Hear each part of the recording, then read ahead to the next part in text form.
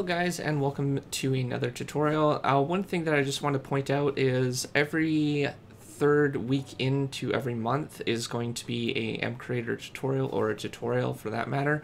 Um, I'll be focusing on M Creator tutorials until I run out of suggestions or ideas or things to record. However, uh, it's a designated bonus content that is on every third week of the month. So, um, yeah, uh, just to let you guys know about that. Um, also, uh, I want to just let you guys know that this idea was suggested by a individual that has uh, subscribed to my channel. Uh, if you want to check out his channel, I will leave the link down uh, in the description, so definitely check out that, and thank you to him for suggesting it. Alright, so the first thing that you're going to have to do is we're going to be creating the mob right off the bat. And this will um, be an alien and uh, we need to first import our textures. So go to new and uh, import other texture. And then what you want to do is select your workspace wherever you store your files. I have a texture that we'll be using and that is under tutorials done plan planned and custom mob boss and we'll go to this and we'll import the mob skin you can get the mob skins uh, from minecraft's uh, directory so you can extract it from the uh, jar file and get some templates alright so we're now going to create our mob boss and what we need to do is uh, select the name of the mob. So we're just going to say alien. We're going to select the type of uh, texture file it is. Uh, this indicates that um, what texture uh, basically map that we're going to be using. So I'm going to be using zombie for this one. And uh, texture for mob, we can import that and I'm going to leave all this the same because when we selected the zombie texture it adjusted it to what it needed to be. Uh, the this is for the spawn eggs. I'm just going to disable that for now, but you can change the color and it would be cool if you used paint on net. And uh, I have used it before and then imported the hues for the uh, specific colors used in it. And it looks really good that way. Um, all right, so that's that. And then this is your mob boss bar. You want to enable this for the mob boss. And um, you want progress and select any color you want. There's different uh, different uh, tiers. I'm going to go with notched uh, 20. Now, this is if you want armor, but I'm not going to use that. Just click next and uh, we're going to select it as mob because it is going to be aggressive mob creatures passive and water animal I'm not sure maybe fish or something in the future and we're just to select mob unidentified I'm going to leave that alone um, not entirely sure what that means but it's something new I haven't played around with it uh, Illager. I guess it's properties of like certain attributes, so just leave it undefined if you don't uh, want to inherit something like that.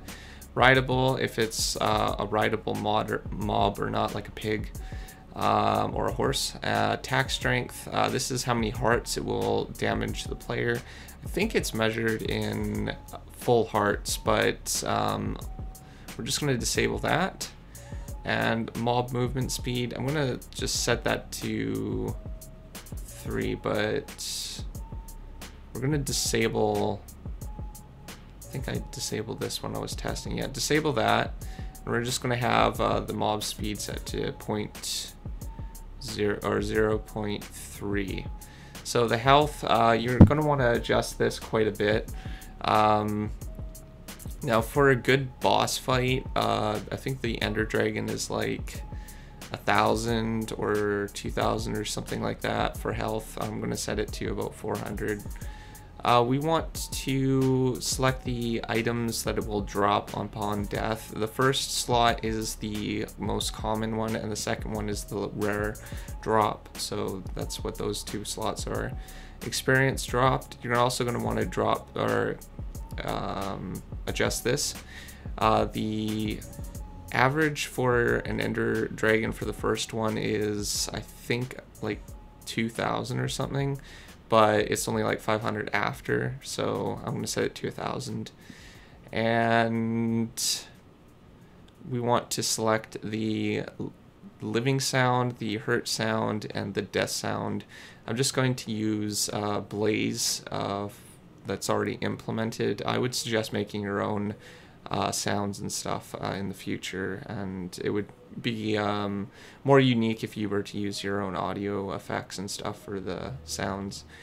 But uh, mob hurt and where is it? Death. There we go. All right, so that's all imported. We're good to go. Uh, particle effects, um, I'm going to leave that. Uh, we will get into events in a few minutes. Uh, now goes, th this is the most important part. This is uh, where the AI is going to be uh, telling them all what to do. So we're going, how this basically works is the top one is the, the most, the, the one with the most priority. So we're going to layer it as we want the priorities to happen. So right now we want to make the mob aggressive and that's the first thing that we want to do. So we'll target any player or mob or anything like that so that's important. We also want it to leap at the direction. Uh, wandering around is pretty good. I'm gonna set that to one. I'm just gonna leave the default um, we want it to look around and swim in water so it doesn't drown. So those are very important features as well.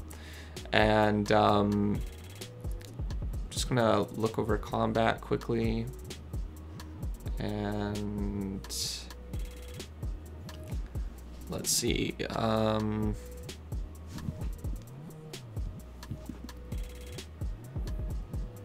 attack with melee factor. So we want to basically uh, set this to, um, let's see, uh, we're just going to leave it to the default, I think, and we're going to also attack the player, which is way at the bottom here, player and multiplayer. So this uh, the multiplayer MP is um, for like online, and I think the player is just for regular players. So this will um, only nearby. We want to disable those uh, unless you want them to attack nearby. But I'm just going to disable them and attack only in in sight. So in sight only, and uh, set that to nearby. So. All right, so that's good. That's um, what the code I'm going to be using for the AI. And basically what's happening is it's going to be um, aggressive. It's going to attack um, with a speed and uh, chase after lost in sight. And it's going to attack uh, nearby only entities player and player multiplayer. And that's basically to target the player only.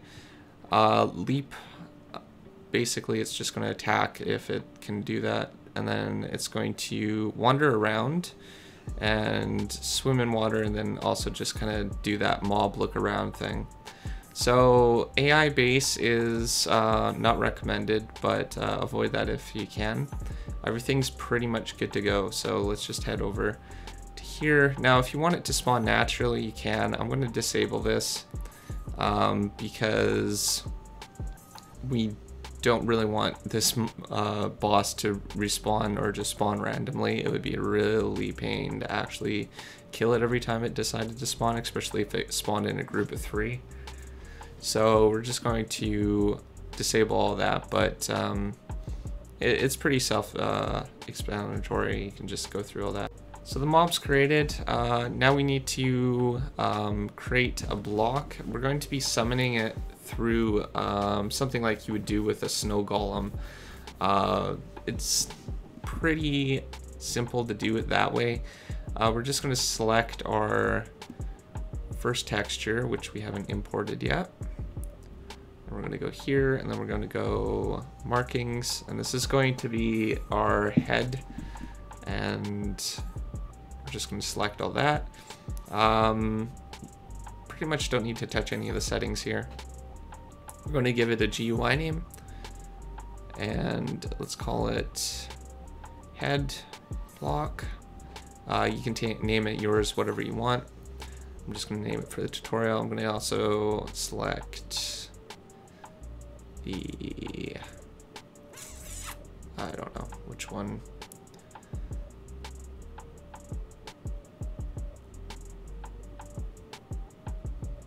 Uh, I'm going to select ground and uh, I'm going to make it sound like slime.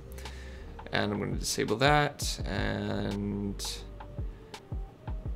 that looks good. Just uncheck uh, affected by a silk touch. And I'm gonna have axe. Actually, shovel would be more appropriate. And what else? Yeah, that looks pretty much good. Just uh, make the block. Uh, we're just basically using this as a placeholder block anyways. So that's all good. Now we need to create the body. And uh, we are going to be testing for these two blocks. Um, with the uh, head block when it's the head block is placed. So we're just going to create something like this. Leave all, pretty much do the exact same thing. You don't need to do anything fancy. And give it a name, body block for the tutorial, ground, and we're going to disable that, select that to shovel, and select this to slime, set that to zero, Next, next, next, next, and next. Okay, so now that we got all that in, we can finally create a procedure um, to summon the boss. So this isn't too, too complicated. We just need to test if the body blocks are below the head block. And if so, then um, basically uh, remove the blocks and then summon the entity. So that's all we need to really do. So we're going to use an if statement to test uh, for the block locations. We're going to put the block equals uh, operator there. We're going to select the block type. And then we also want to get the block that uh, we want, and we're going to set the y coordinates to math um, math minus one. So y minus, then you're going to need a number component and set it one. And we're going to duplicate this twice because we want to test for both blocks. And then what you want to do is select your body block and select your other body block and that's pretty much good to go. Uh, set that to y minus 2 though rather than minus 1 and it will test for both blocks now.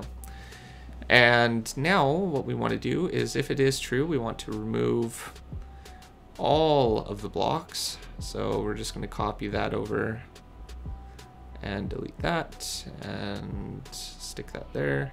Then we want to copy this. And paste that here. And nope, that's not gonna work. Oh dear, what did I do? I have no idea what just happened there. Everything's all over the place. Oh boy. Um, basically you want to remove the main block though. Why are all these components all over the place when they're really not? That's weird. It must be a bug. I did something I wasn't supposed to. Do, that's funny. There's like a little marker right there for some reason. All right. Um, so we're just going to leave it as it is and we're going to edit this a little bit. We're just going to have it at the y coordinates, and that will delete the block that it's testing, or the block that is testing. There we go. We fixed it. All right. Uh, so basically you want to, yeah, see that? I don't know why that marks there. I thought it was on my screen at first, and I'm like, oh, what did I do? all right, so basically we're testing for both blocks. We're going to remove both, or remove all the blocks that we have placed if it's tested and then what we want to do is summon. I always need to figure out what tab it's under. you think it would be under entity because you're actually spawning the entity, but I think it's under like, what was it? World management or world data somewhere up there. Uh, not under world data, so it's under world management. So you want to grab spawn at and then the coordinates. And I would suggest selecting y minus um, 2 and that will spawn it on the block that the main the last body block was. I didn't do that and the mob kind of jumps down um, like falls down a little bit and that's okay it's not too harmful to it um, all right so now we want to create a procedure to or add the procedure to one block added to the head block and this will basically um, check for those two blocks first, and once it's checked, it will spawn the entity after removing the blocks. So that's why it's important to add it to one block added. You can also do one block placed.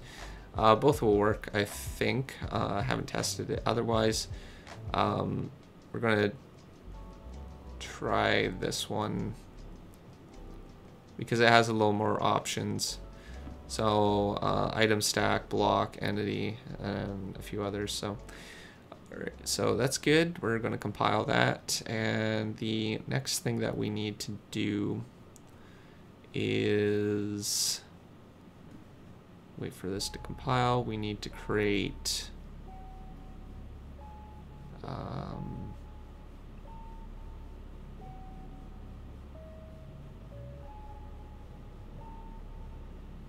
I don't know what we need to create. I am a lost procedure. There we go and we're going to um, create its attacks. Now this is um, my own personal idea.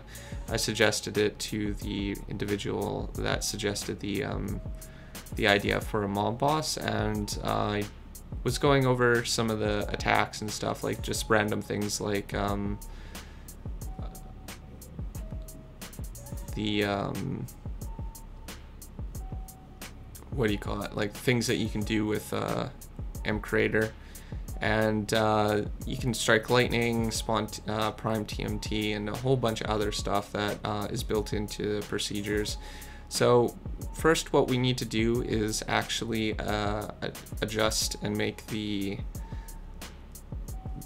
damage for uh, the mob to actually attack because we set the damage to zero. So we're just going to uh, set the uh, to check for the difficulty.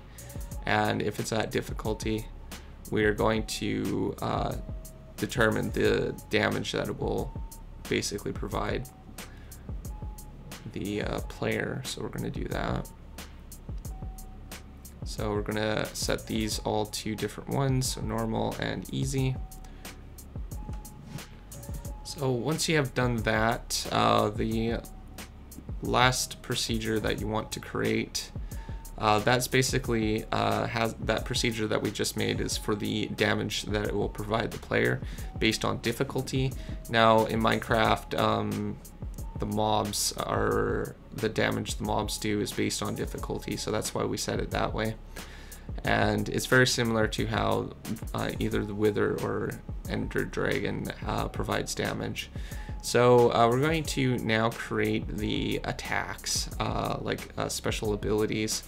Now the easiest way to go about doing this is um, setting it up this way. I've tested it some other ways and it didn't work out that well. Uh, either the attacks didn't work or um, it was only doing one particular attack. And uh, this also allows you to do random attacks uh, the way that I'm going to be setting it up. So um, you can either follow along or just skip this step and just have a really uh, hard entity to kill, which is uh, totally cool too. But um, I'm going to be showing you how to add attacks now.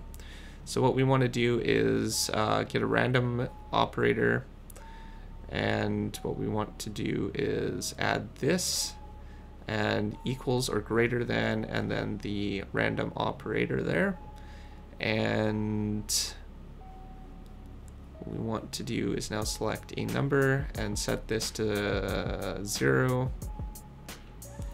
And we want to set this to 0.5 or any value that is uh, one and under.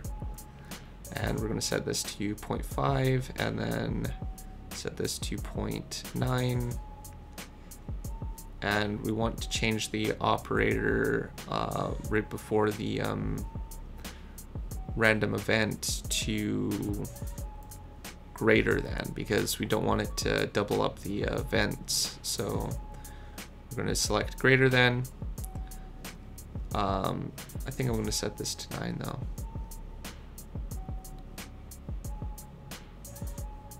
Um, I'll just leave it.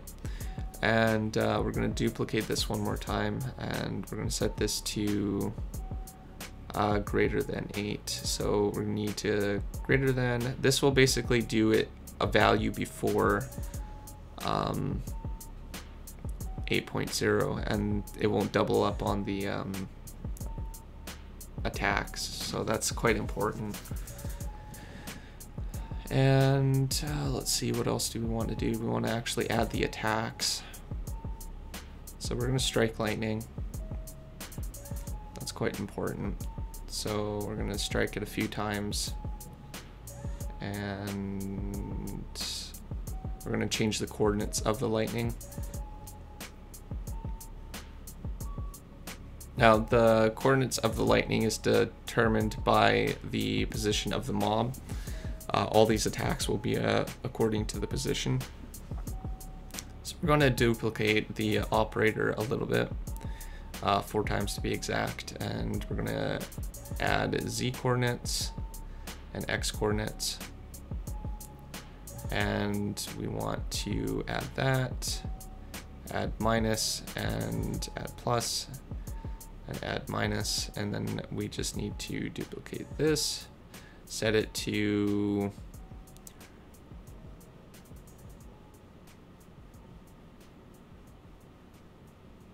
I'm going to set it to 8 and I'm going to pop or duplicate this first a few times and oops what am I doing here okay, so we're going to duplicate that and duplicate that and put that in so that's the lightning strike attack is all set up. Uh, now what we need to do is create the other attacks that will happen. Uh, you might want to adjust the the position of the lightning strike. I've noticed while making this tutorial that it will actually still damage eight blocks away. So um, you might want to uh, space it out a little bit more. All right, so the next thing that we're going to do is summon an entity. Uh, we're going to go with a wither uh, just because it is a little bit difficult to kill those. And um, where is it? Or not a wither, a wither skeleton. I don't know why they named them very similar things. You would have thought they would have just called it something different. All right, so wither skeleton, and that's good. We're only going to spawn one of those. And the last thing that we want to do is uh, explode. So we're going to... Uh, oh, this is particles. We don't want that.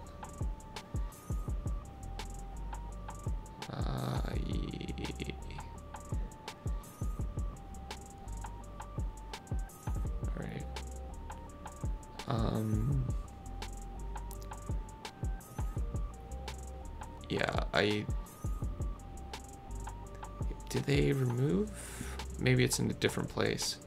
So we're gonna delete that. Uh, would it be under world management?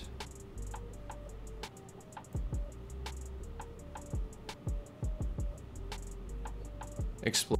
So this would be a quick way of actually exploding um, some things. Um, we're gonna test it this way. I haven't actually tested it this way, so we can test it as we're doing it and um, I'm going to set the power to default. It's just going to be random. It's going to also be really rare for the explosion to happen. Well, rarer than most of the other things. So we're going to compile that and then we're going to hop in game and test it. and um, see basically all the different attacks and stuff and make sure everything works well. And the last thing that we want to do though is set the when block or when mob is, collides with player, we want to set the damage to that. And when mob hurt, we want to set the attack abilities. So that's basically all you need to do with the mob events here. Click next and leave the AI the same and continue and just make sure that your event is there so that's good and uh, we can finally test this so I have um, spawned on this island I don't think uh, alright so we need these to begin with but I don't know if I actually should do it here this is quite a tiny area to try doing that we could go to one of these islands, but there's mainland over here, so we'll do that over there. Um, yeah, we'll, we'll head to the main island just because there's more room to uh, basically do a, a, boss fight. So we'll just uh, test it over here. And we're going to place down these two blocks first, and then, yep, it summons it perfectly. So it says alien at the top there. And I'm just going to gear up a little bit. Grab a diamond sword, some arrows. And we don't really need those. Okay, so we're going to put on the armor. And I just want to see how difficult it is to actually kill this creature. So we're gonna go over here. We're gonna set our game mode to survival. And he's already moving quite fast, so we'll aim for him. Okay, so it did strike some lightning. And some more lightning. There's a big field fire now. So TNT happened, but it looks like the TNT didn't actually um, happen correctly. Yeah, he's walking on air, so the blocks aren't registering. We're gonna have to change that. All right, now we got a wither. Okay, that really hurts. It's because it's on normal. And I just caught myself on fire. And I'm dead. Alright, yeah, I, I forgot to set my uh, spawn point too. So we'll head back over there and it's over this direction. We'll set our spawn point this time.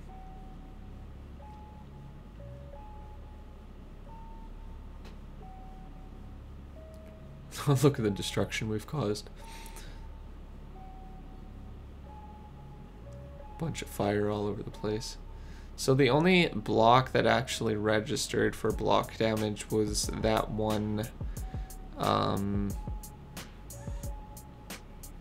that we uh, basically got killed by, and that's not good. So we're going to gear up a little bit more, and we're going to change that uh, before we basically finish the episode and test it the way that I have tested it prior. And um, I'm just going to show you basically how to set uh, proper explosions and stuff. I'm just going to add a bunch of protection onto this just to make sure that it is possible to defeat it with armor. And we're gonna grab that and go in here. And I'm gonna want better sword, so I'm gonna go sharpness uh, five.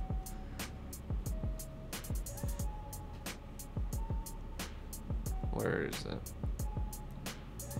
Should have little different icons or something. Like uh, characters of the enchantment on it. That'd be pretty cool. All right, so that's good. And uh, we just need to gear up. And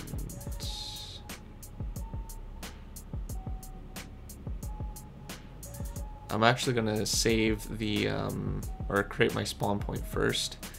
And then what I'm gonna do is create a quick tab, um, creative tab uh, selection, so I just created that. It's over here now, so I can just easily grab that.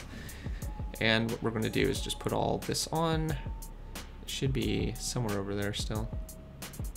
So let's go take this on and see how it easy, easy it is to... Okay, so it does help a little bit. However, okay, yeah, so blocks are definitely not being broken properly. We do have a little more protection than normal.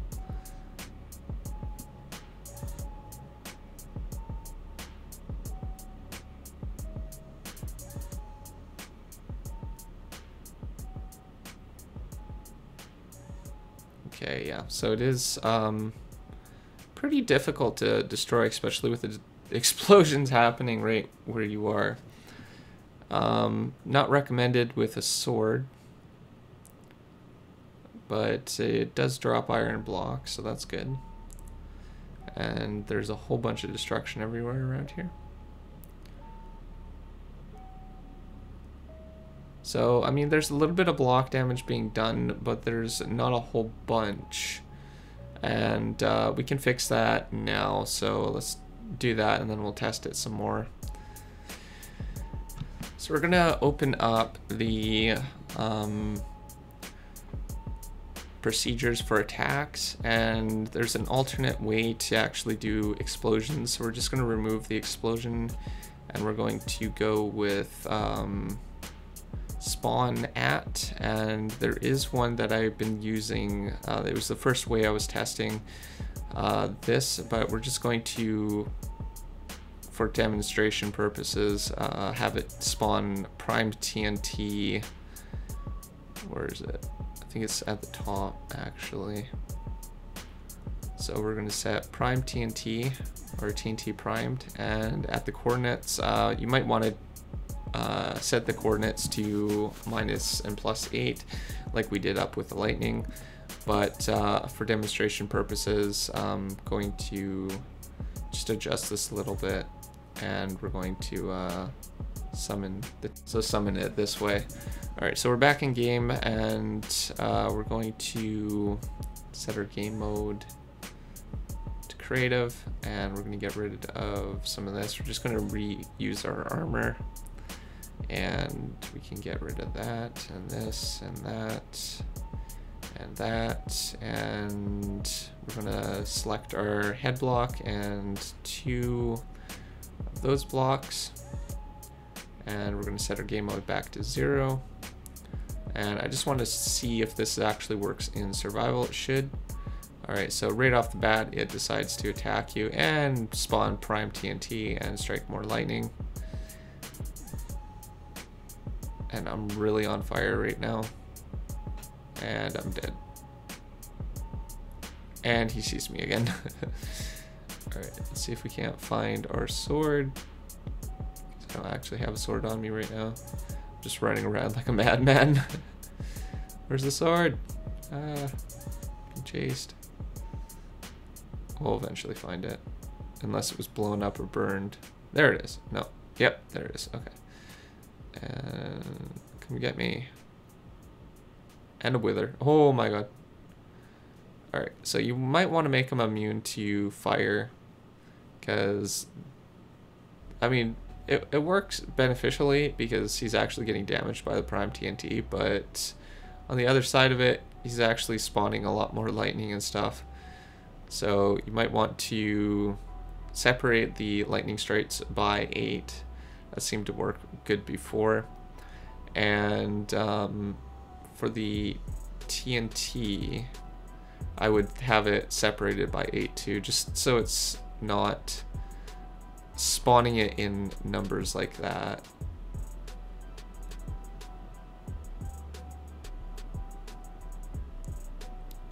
I'm just getting struck by lightning. I'm not even getting attacked by them. And that was lightning. yeah, definitely eight. It would be easier with eight. So just, yeah, my sword's been blown up, so I, I'm not really able to do too many attacks right now.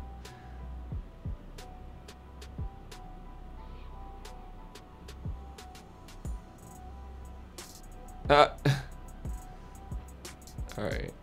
So yeah, without uh, anything other than that, um, That's basically how you can create a really simple mob. It's not too complex.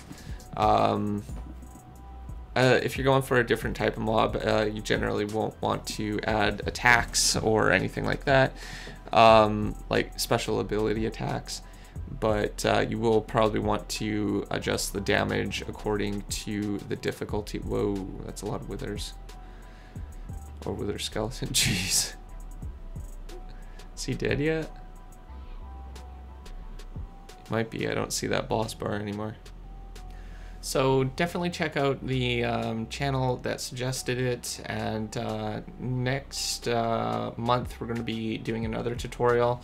Um, I believe we're going to be talking about how to create, uh, I'm not sure, I'm not going to actually um, set myself up to be off schedule so uh, definitely just tune in um, next month for another MCreator tutorial and um, other than that, that's all there is to make a custom mob. I hope you enjoyed, and I will see you guys next time. Thank you for watching my video, guys. I hope you enjoyed the video. If you're new to my channel, don't forget to subscribe and click that little silver bell for notifications. You can also go to my Google Plus page. I use that as a feed for all my new videos that I publish.